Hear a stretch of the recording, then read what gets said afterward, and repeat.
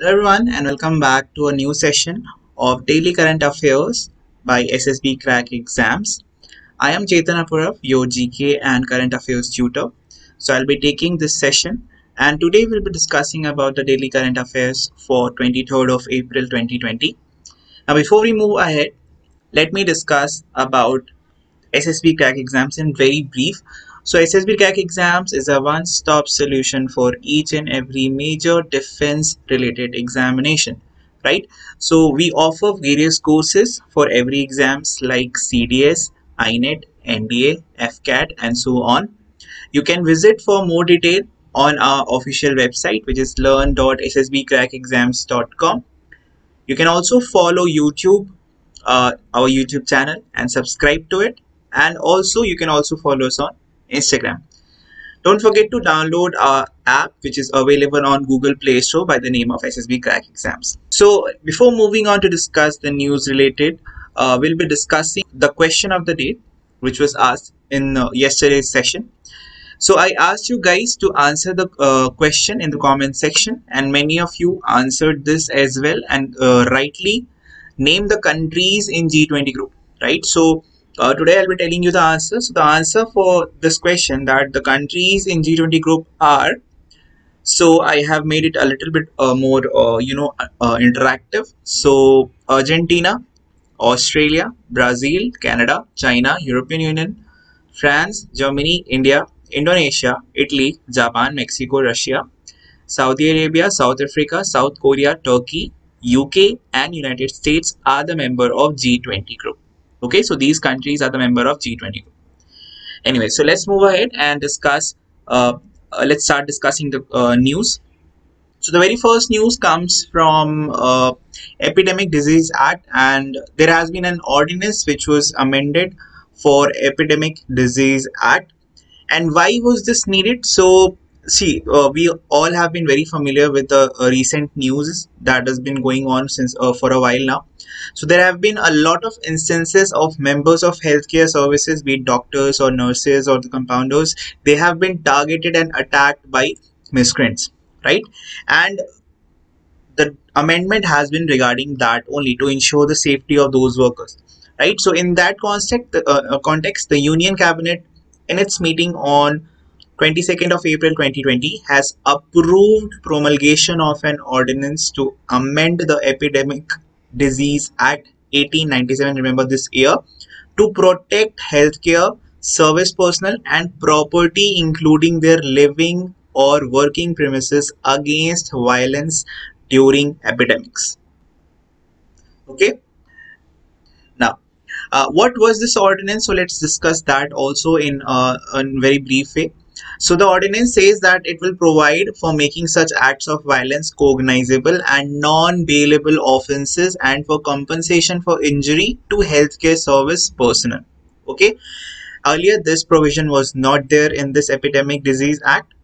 It is intended to ensure that there is zero tolerance to any form of violence against healthcare service personnel and damage to the property if at all any person does this damage, then they will be punished with imprisonment of for a term of 3 months to 5 years and with fine of rupees 50,000 to rupees 2 lakh uh, if found guilty.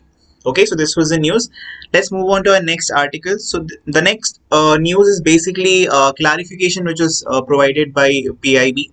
So there was a lot of fake news going on that uh, till 3rd May, which is the current last day of lockdown.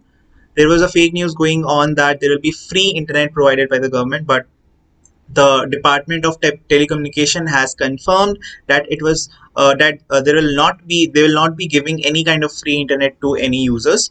Apart from that, there was also fake news uh, circulating that uh, you know the hotels and restaurants will be closed until 15th of October. So they have the Ministry of Tourism has also clarified that there is no such news and no such uh, circular has been uh, has been uh, in the scene. Okay.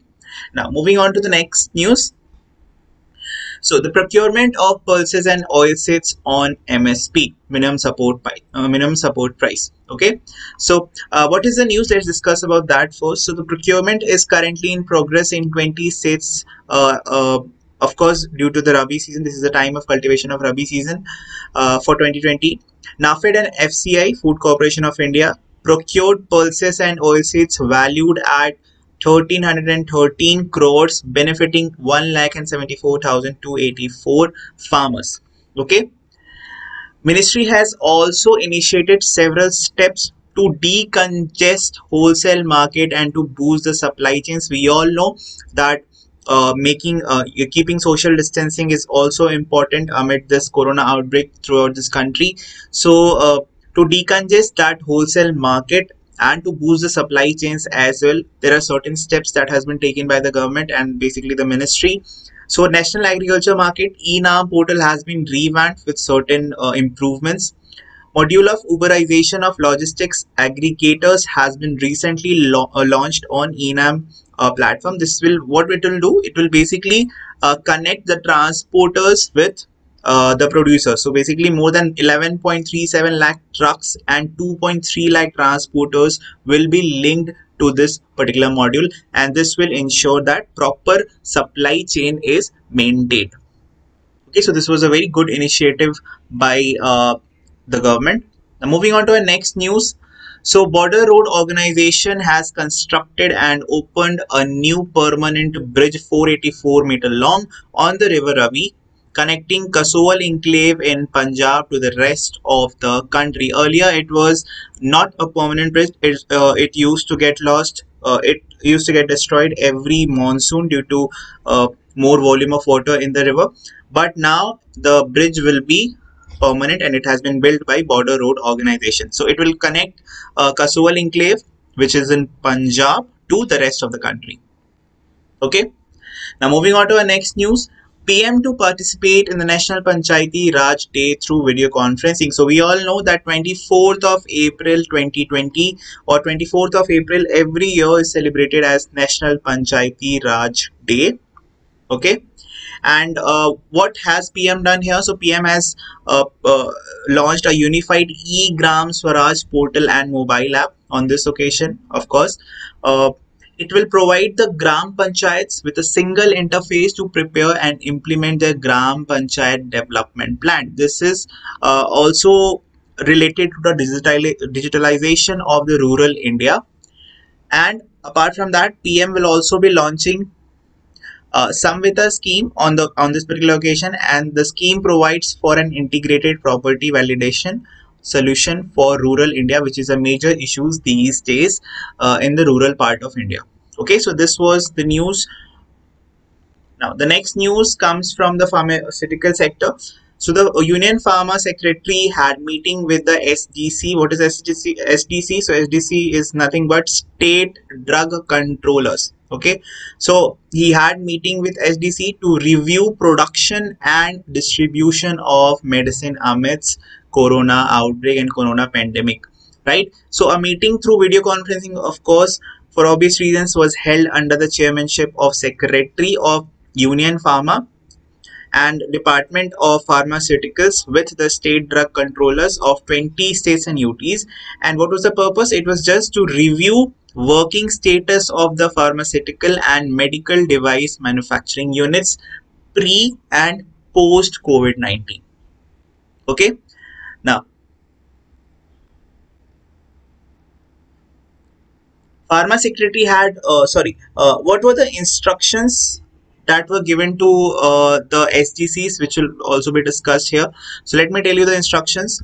So there was increase in the percentage of manufacturing to ensure it's working to full extent and increase the availability of the drugs. They were told for solving all the problems related to logistics, workforce movement, ancillary unit required for drugs and devices in coordination with all concerned local authorities. Information of drugs and devices manufacturing unit to be provided urgently in soft copy by all states to the center and availability of hydrochloroquine as he uh, azithromycin and paracetamol formulation be monitored by all the state drug controllers wherever they are manufactured or produced. Okay? So this was uh, the news. Now moving on to our next news which is from science and technology sector. So we have uh, a micro reactor which is developed by ARI produced which is uh, of course uh, the micro reactor is of uniform size of nanoparticles now how is this important and what actually this news is? First of all let us know about ARI so ARI is nothing but a Pune based uh, autonomous institute. ARI stands for Agarkar's Research Institute. It is an autonomous institute under the Department of Science and Technology in uh, handled by of course government of India has developed a micro reactor that can produce large quantities of uniform size of nanoparticles thus serving a major requirement in biomedical technology this has major major applications in nanoparticle in sorry uh, biomedical technologies. And they have been developed. Earlier the sizes were not in control.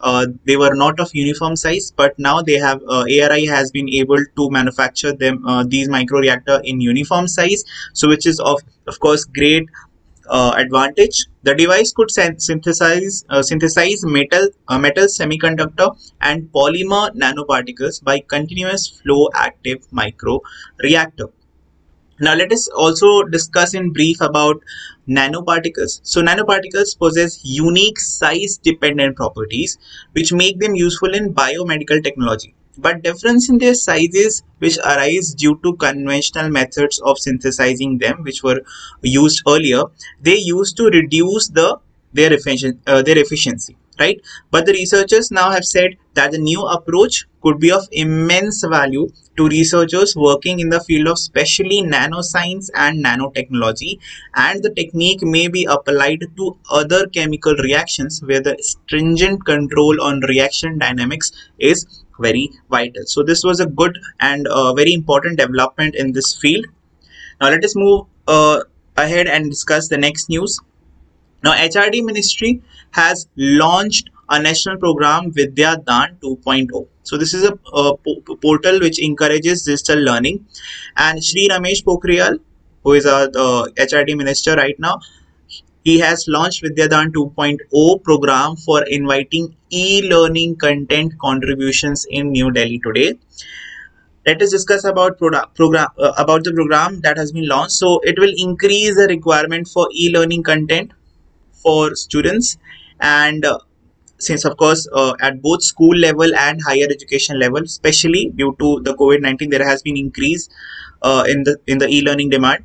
Now the urgent need to integrate digital education with schooling to augment learning is also one of the reason to launch this program right? Now moving on to our next news Indian Railways announces slew of incentives for free traffic during COVID-19 outbreak. So what are these uh, uh, incentives and why are these done? So these incentives are expected to boost the economy by aiding countries export.